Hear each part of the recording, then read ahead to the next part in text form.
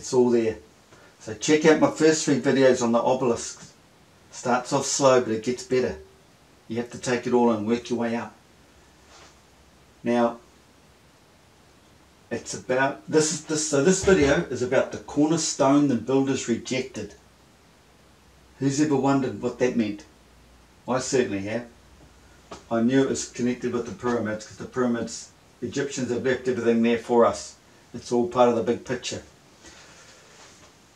So it's connected with the corners of the pyramid. And it's the coordinates, the cardinal signs, corners, pyramid, whatever, it's all connected. Look, the cornerstone the builders rejected.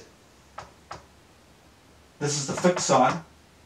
As it comes round one face, comes back up. Because as it goes round the face, it goes down. Because that's what the sun does. It goes down three months. Then as it's turning, every day, 24 7, 360 degrees every day, it's slightly coming up or going down, depending on which part of the season. So you see the go winding down to the solstice, December solstice, out down. And then it comes th three months back. So, so as it's coming up, then it goes down the other face. Then it comes back up the other face, and then down the other face. See? Down, up, like this. So I'm sticking with this fixed sign, meaning there it is, fixed in the middle. It's not affected with seasonal changes. But the corner points, the corners are. Okay? And it's to do with this point here. So anyway, then we have to look at this. Corn. Corn doesn't represent that yellow stuff you eat. Look into it, trust me. It's at a time. Corn. At a time as it turns the corner of the column in the center. Corinth, Corinth, core in, core, apple cores in the center, it's in, th, the plinth, plinth, Hathor segment, You've got to go deep into this, but it's representing the centre, the vortex in the centre here. There's the plinth in the centre, the Ben Ben stone. The rising of the stone coming out of the primordial deep. It, it, uh, creation only happened once, when the flood receded. What happens with your pineal gland? It's sitting in water, it's flooded. What happens when a man wakes up? It gets flushed out through your system. It's called the flood. It's a spiritual event. Your pineal gland is now high and dry, just like that ship up there on Mount Ararat. Core. You know, corn, core, all the sounds. In the beginning was word. What's word? Word is sound. Frequencies. This is why we can relate a lot of words from all different cultures to meaning the same thing. They'll pull down to the same thing. To go deep into Hebrew and break it all down, etymology or whatever. Uh, it sounds, all about sound. In the beginning was word, but he heard a word. He hears your not. Your, your name is called three times. Anyway, back to this core. Core, Coriolis.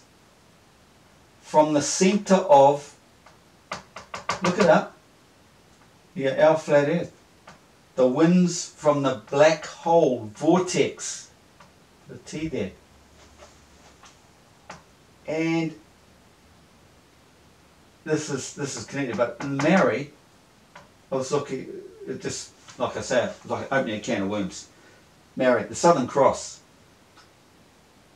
Look on the phone. Corey Osfat look on the phone. So look on the phone. I better look on the phone. I'll put I could probably do the whole video on everything I've got on the phone here. It's all connected. It just goes on and on and on. So you need to get comfortable and try and take all this in as I go.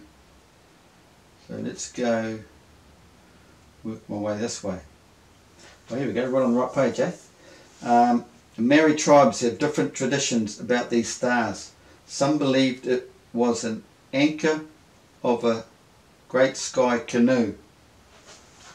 The glasses here. Um, now, when we're talking, it's the celestial, see? So, now, let's start talking about canoes and stuff like that. Most likely talking about the Milky Way, which is a big boat. But the sun's in it. And the sun moves across the sky every night in the boat, doesn't it? The ancient, in ancient Egypt tales, mythological stories. So some believed it was an anchor of a great sky canoe or an opening in the sky that the winds blew through. So that's the Maori there, the Maoris. They know about the black hole. Um, another thing, rabbits. What have rabbits got to do? What's, what's Easter? What does it mean? Because the black hole with the sun on its horizon forms a an egg shape. It's elliptical. There's the egg. It's golden because there's the sun on it. The golden egg. It's the story of Jack and the Beanstalk. Climbing the vortex, the beanstalk, to get to the golden egg. And the rabbits, the black hole, a rabbit warren.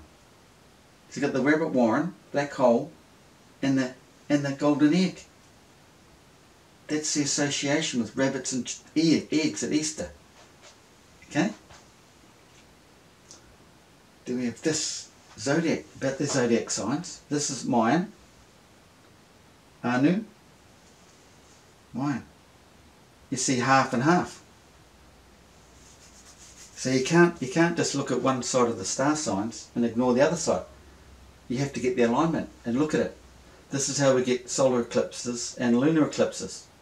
NASA wants you to think you live on a spinning ball and Earth goes and shadows the moon.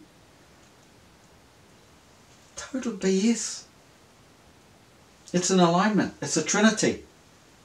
Whatever's happening, there's a sun in the centre in the black hole. So it's whatever happening. We don't, you don't see what's happening in the middle here. We see it out here, out in the tropics. But you've got to understand the central the image to know what's happening out here in our realm. So whatever's happening around here, it's you've got to correlate it with what's happening on the other side. It's a dual system. Now, everything's a dual system.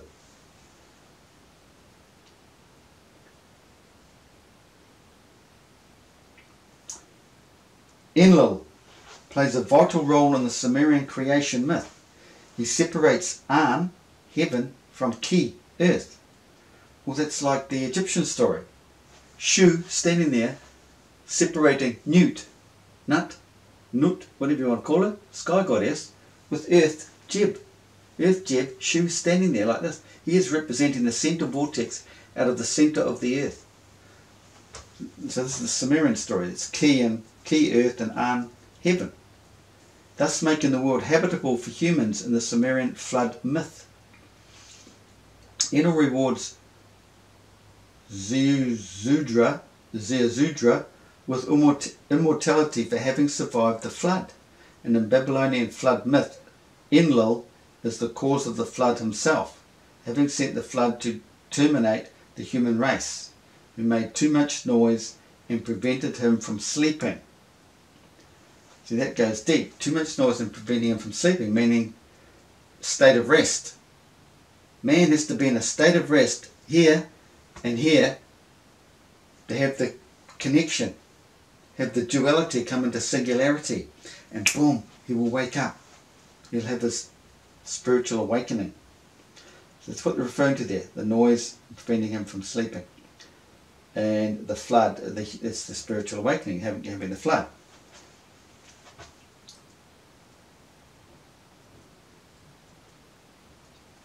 Enlil's name comes from ancient Sumerian En, meaning Lord, all Lil, and Lil.